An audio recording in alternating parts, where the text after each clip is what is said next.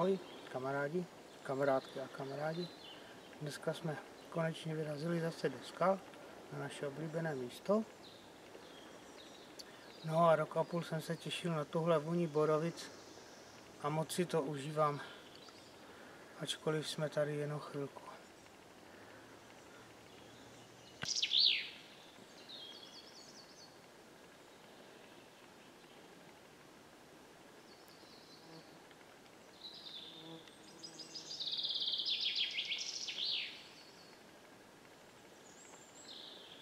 Škoda, že víc nepálí slunce.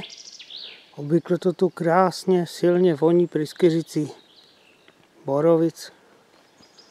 Ale dnes je pod mrakem. Ale je to krásně i tak.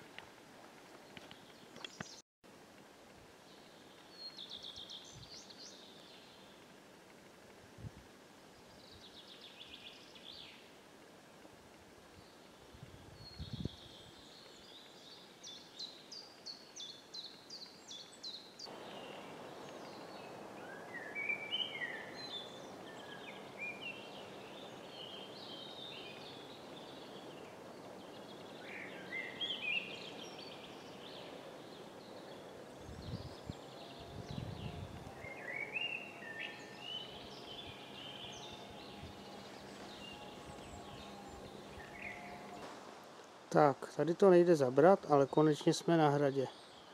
Zdravím Mikyho. Miky inspiroval si mě svým delším výletem, tak jsem se zase po nějaké době sem vrátil. A tady budeme stoupat na skálu, na hrad. Tady už jsme nahoře na hradě. Vlastní plošina hradu hlavní část. Tady vzadu byla věž, hrad byl dřevěný z větší části. A už odtud máme nějaké to video, máme jich víc a jedno s přespáním. To jsme spali tady mezi těmi dvěma stromy. Tady tou průrvou je vstup do hradu. Musí se trochu šplhat, takže v noci je to fajn. Nahoře je vidět zahloubení ve skále po trámu. Tady byly vrata samotného hradu, kde byla vzadu věž a předtím palác. Hezky se tady nocuje, ale většinou tady chodí víc lidí a bývá tady někdy hluk z malé skály. A tady ještě chci natočit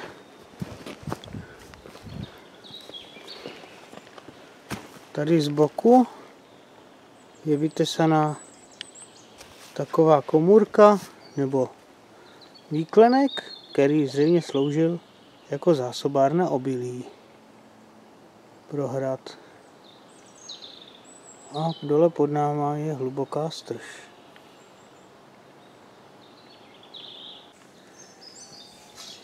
Obě části hradu spojoval můstek a e, je mezi nimi poměrně slušná strž. Dneska to spojuje můstek taky.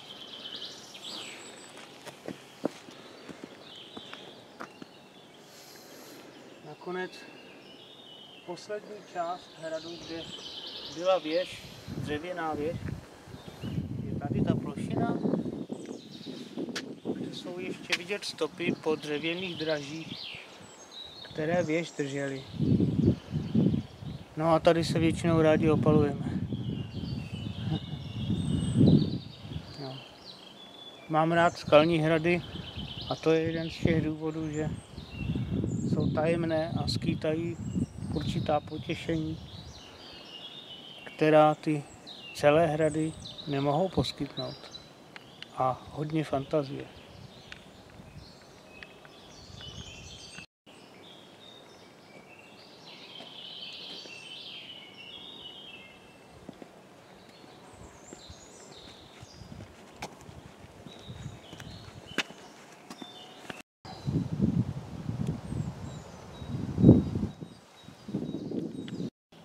Tady krásně, užíváme si to. Trošku se zvedá vítr, trošku se ochlazuje chvílema. jako by opravdu měla něco přijít. Možná trošku litu, že, že jsme si nevzali věci na spaní, protože původně hlásili, že budou pršet a nakonec nic. Mělo celý den pršet. No. Tady je 35 litrový batoh Jardy Dernera, který jsem si uchylně objednal ve fialové barvě, protože mám občas rád úlety. Je to Fitzroy 35 2. Poměrně velmi prostorný a velmi fajn batoh. Pro mě to je to samé, jako bych měl 50. Čili pro mě je to obrovský batoh. Já tam dám víc, než potřebuju. I na vícedenní výlety. Ahoj. Dneska jsem chtěl ještě trošku dopředstavit tenhle ten nožík, protože když jsem dělal představení posledně, tak jsem nemohl najít žádné, žádné dřívko na řezání. Všechno se mi rozpadalo v rukách. Takže je to tenhle kapesní Mikov.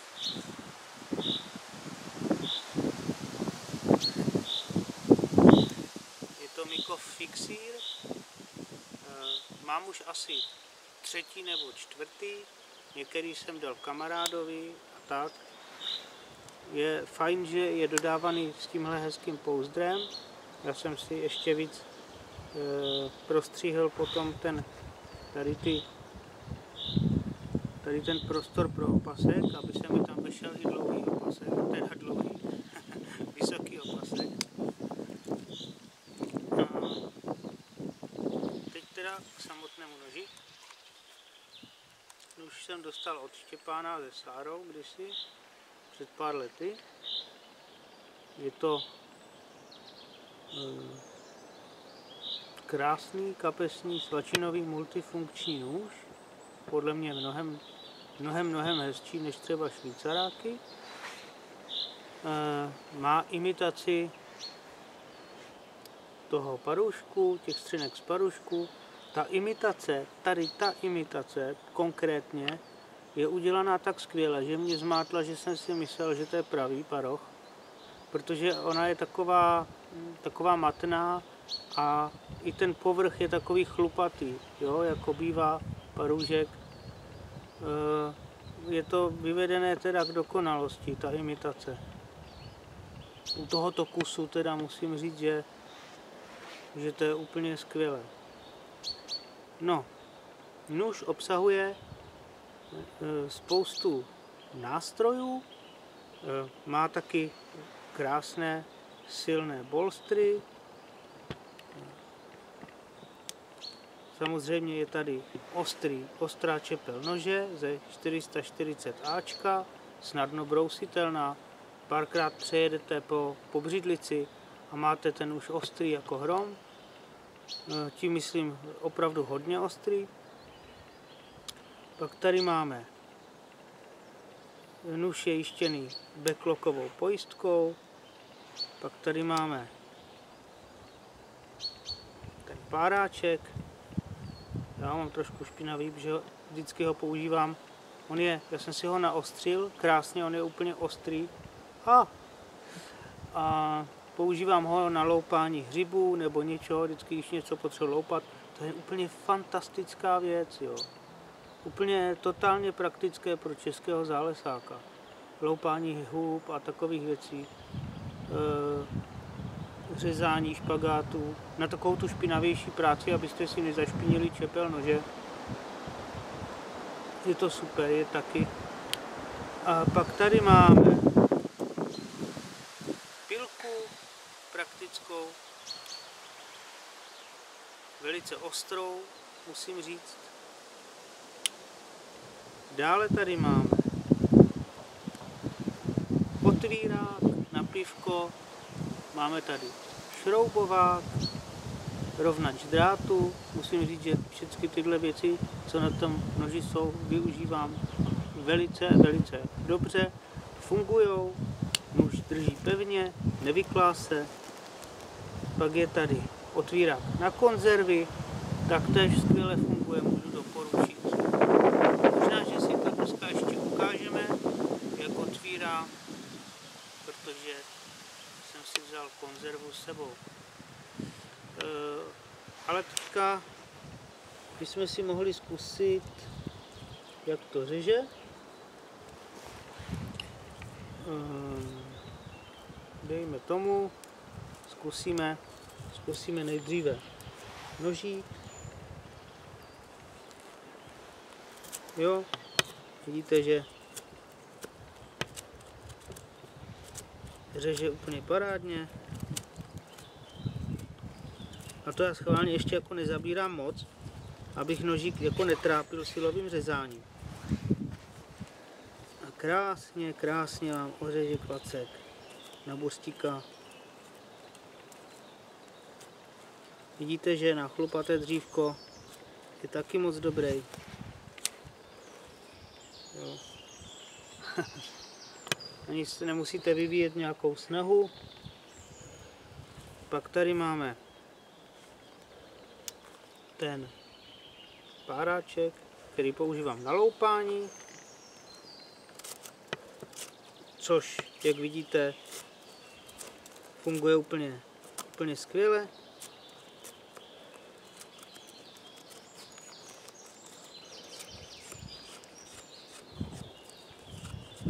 Na chlupaté dřívko skoro ideální věc nenajdeš.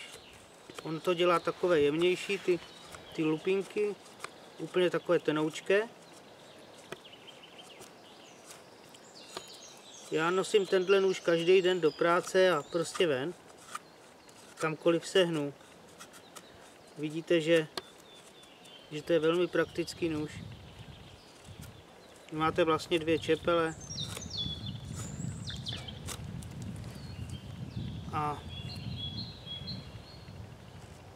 Pak bych mohl ještě zkusit tu pilku. Já teda nevím, na kolik si to tady obsu. Když třeba chcete nějaký prut a nechcete si špinit nůž,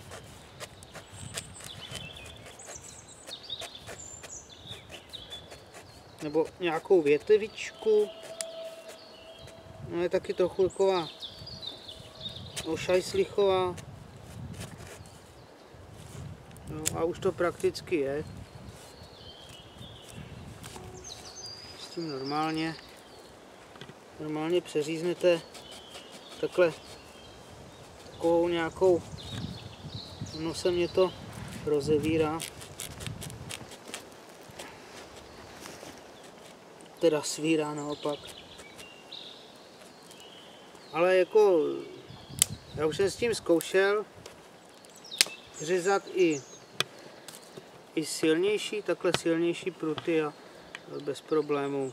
Jako, myslím si, že by s tím krásně se nařezali silnější pruty na přístřešek bez problémů, je to ostré. Já bych řekl takřka ideální nůž pro českého táborníka. Myslím si, že poslouží v každé situaci. Při použití nože, při rozdělávání ohně, při krájení potravin, otvírání konzerv. Jako vůbec byste nemuseli mít pevný nůž, když ho budete šanovat a nebudete s nějaké silové řezání, tak na to on jako není, na nějaké takové to, to, to, to jako ne, ale když s ním budete zacházet slušně, tak se vám odmění a bude vám dobře sloužit na vašich tolkách přírodou a budete mít kus pěkného zavíráku na, na běžný český táboření. A každý den. Za mě uh, fixír 100 bodů. Je to nůž krásný, jak jsem řekl, mnohem hezčí než nože s barevnýma plastovými střenkama. To, to je moc pěkná věc.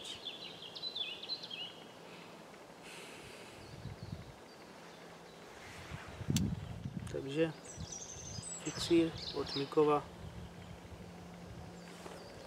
i s pouzdrem.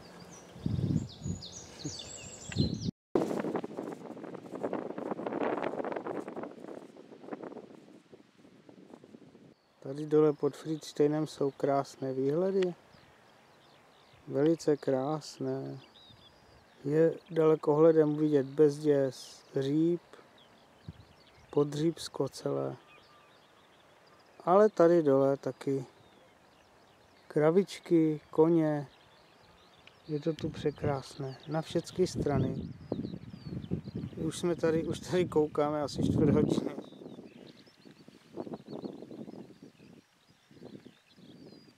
tonący suche skały.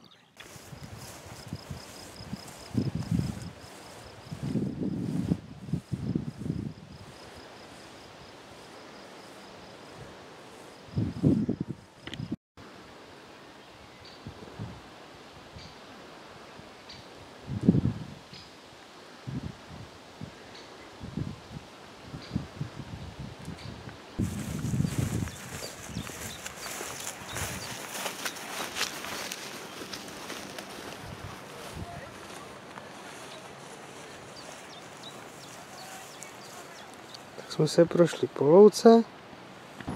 Před náma je Friedstein. Je tam vidět krásně i ten druhý Bergfried dole, osypaný, puklý. tak a jsme ve Friedsteině. Zahrádka otevřená. Takže dáme si dneska rahozec. Krkonožské kyselo,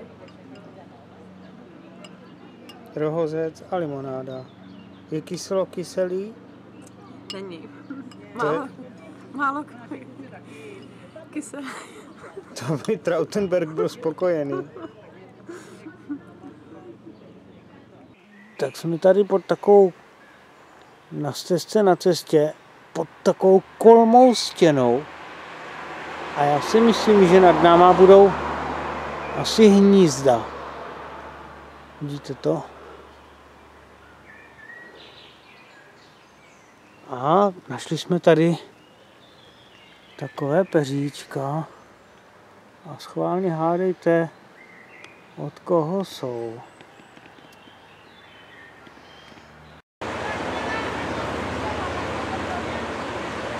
No a klasické posezení výzady.